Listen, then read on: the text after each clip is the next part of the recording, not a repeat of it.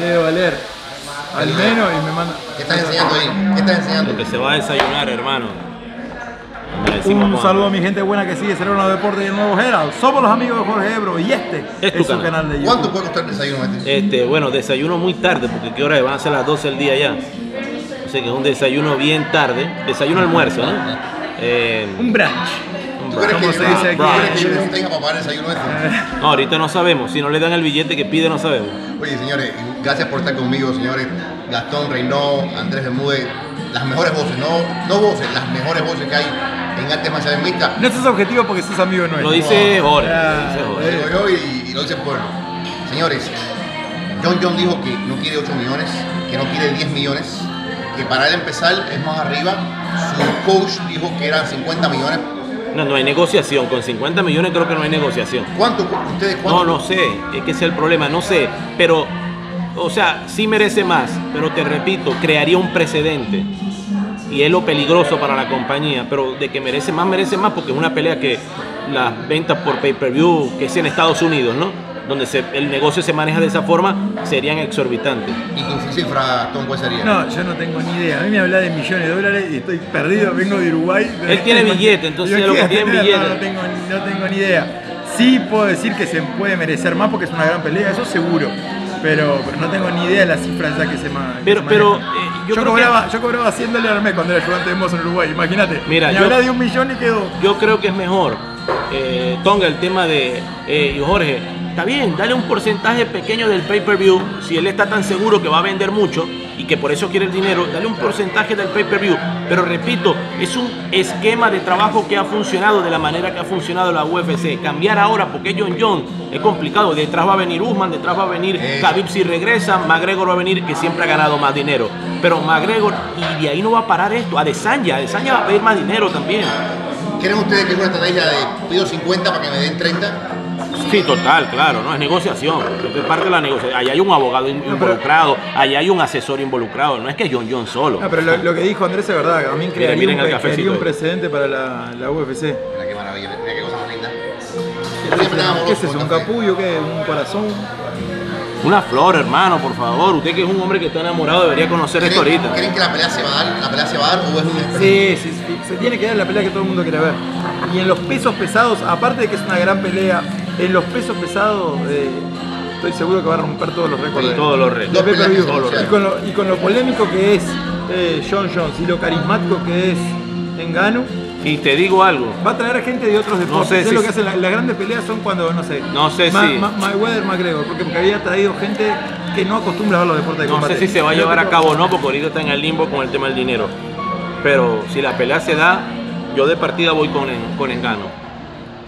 Vas con engano. Sí, claro. Vimos la foto de Sí. John John en 2.55. No, pero la, la- la foto no dice nada. Tiene el esqueleto para sumarle masa Y para muscular, aguantar, para pero aguantar. Cambia, cambia completamente el cardio. Por si eso. vos tenés una mochila de, de- de 15 kilos encima, Claro. el cardio te cambia. Más allá que es un profesional y obviamente lo, lo debe haber entrenado. Cambia también el aguante, no es lo mismo que No te pegue un, un semipesado a que te pegue un Engano, pesado. a que te pegue engano, Y no después, pesado, engano. No es lo mismo mantenerle la distancia a un semipesado que mantener la distancia a un engano que un tren camerunés que te viene tirando bombas. Podrá mantener la distancia. John Jones, podrá ponerlo John Jones contra la reja. Eso lo desciframos pronto en el mismo Y Vaticano. Dos peleas que se Yo antes que el café prefiero el mate. Y para los que no conocen, que preguntan siempre en los videos qué es el mate, es como un té, es una yerba. El problema es que es el paso previo a drogas un poco más duras. Como Wow. por ejemplo los alfajores, los bizcochos, el dulce de leche. Lo único Y de malo es que, uno no puede y salir. para que lo sepa Sudamérica y lo sepa Uruguay y lo sepa Argentina, toma el mate con azúcar. Jamás, jamás. Oye, Jamás, eso lo hacen los argentinos. Dos se te vas a caer encima, ¿viste? No, no, todo bien con los argentinos, pero no se le pone azúcar al mate. Dos peleas que se anunciaron rapidito. Silk Game contra Volkov. ¿Cómo van las peleas? Volkov va a tratar de mantener la distancia, pero Cyril Gain lo, lo veo con más herramientas. Volkov es largo, pero es largo que presiona. Lento. No es de los largos. sí, A, Tonga lo ha venido impresionando un poquito Cyril Gain en las últimas peleas. Cyril Gain es aburrido, como dicen, pero se mueve muy Efectivo. bien. Parecido a Robert Whittaker, tiene ese karate, pero con más movimiento para la, la división. Volkov es Y un grande, fenómeno. exacto. A mí me tocó compartir cartelera con Volkov en, en Bellator, mi Oh, wow. primer, mi primer Mira, estamos listos para pedir, vamos a pedir. Y compartimos, y compartimos también eh, vestuario. Le voy a poner belleza a este video porque es muy. Mi vida, estamos listos para pedir. Bueno, sí, Eh, señor, vamos a querer un desayuno criollo y un servicio pequeño. Eso lo vamos a compartir el joven y yo. Y un café con leche niño. Café con leche, latte o cappuccino. ¿Cómo es? Cappuccino. ¿Y te vas a tomar uno El también leche igual? regular de almendra. no, no, no. regular. El criollo como desean los huevos. Eh, revuelto. Revuelto. ¿Revuelto o Ya, frito? como tú quieras.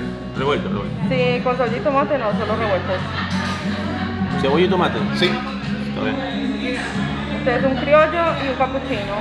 ¿Está bien? Ajá, y un servicio pequeño. Mí. pequeño en vida.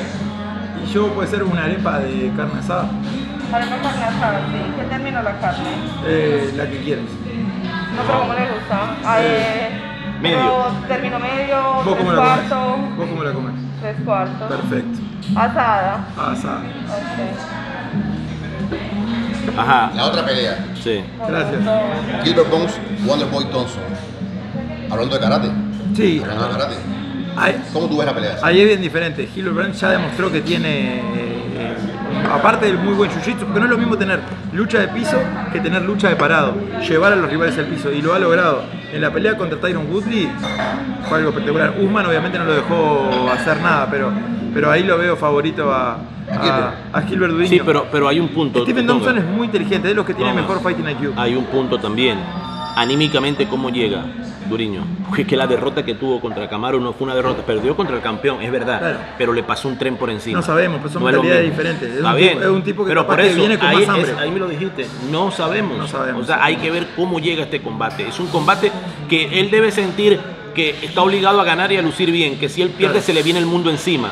Y yo creo que eso le da presión. Pero es competidor. Él viene de Jiu-Jitsu, es cuatro veces campeón Sí, no, no, un peleadorazo, Ellos están acostumbrados un eh, Increíble, Thompson, 38, 38 años, viene a ganarle a Vicente Luque, de ganarle a. Es que por eso, eh, Duriño Thompson no venía de, de- de su vida hasta el knockout de. Duriño no de está peleando, Duriño no va a pelear con, nadie. no solo pelea con, con Thompson, no, pelea también con, con todo lo que arrastró de la pelea con Usman. De- él es favorito, sí, pero vamos a ver cómo llega. Iba a entrenar con Jorge Rubio. Ah, Duriño que por parece. cierto, ya volvió, esta pelea. volvió, volvió. Sí, ya volvió a entrenar. Volvió, posiblemente hoy entrena también con Jorge. Estaba viniendo dos veces a Miami y Jorge está yendo dos veces a casa de Duriño. ¿Cómo ya. hace Jorge para saber todo? Porque es Ah, amigo de Tiene- Jorge pero Rubio. Tiene cinco celulares, una computadora. Jorge- Jorge, un día, agarra. para que veas cómo entrena. Jorge. Mira, mira, Jorge agarra, se lleva una colada para que Jorge Rubio reparte la coladita y ahí va sacando información. ¿Querés? Bueno, decime con quién vas a pelear la próxima. La última pregunta ya, porque Y que pone puñales en el pecho, imagínate, anda con el hay hambre, hay hambre.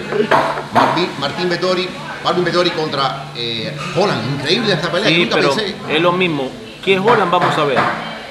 El Holland de, de hace poquito, locura. horrible, No, horrible. pero aunque hayamos visto al mejor, al mejor Holland, eh, es, muy- es superior Vettori, sobre todo que estaba entrenándose. No sabemos cómo va a ser. O sea, Holland, su única pelea de 5 rounds fue esta con, con Derek Brunson, lució horrible. No, pero es que no es que lució- levantando cuatro No, no es que lució- ¿eh? Vettori no es que perdió por decisión dividida pero, con, con Adesanya. pero Jorge, Jorge, no es que lució mal eh, Holland, es que lució loco, Loco. Demasiado loco. Recuerdo que lo decía Dana White, decía, este tipo está en otro lado. O sea, vamos a ver, vamos a ver, y también vamos a lo No, pero mismo. es- ¿qué- eso no puede arruinar a- las 5 victorias que tuvo en el 2020. Es, él está empatado en la mayor cantidad de victorias en la historia de la UFC en un año. Hermano, la gente se acuerda de lo Cinco último que ve, la gente se recuerda de la locura contra Bronson. la jaula Bamontes que va a debutar en la UFC, el chileno contra, contra el canadiense, que también es eh, es noqueador como él, así que va a ser una, una buena batalla, batalla de stand-up. Bueno, pues nada. Salud, amanecer ahí veremos, señores. Mate y café. Felices Pascuas atrasadas, pero bueno, felices Pascuas.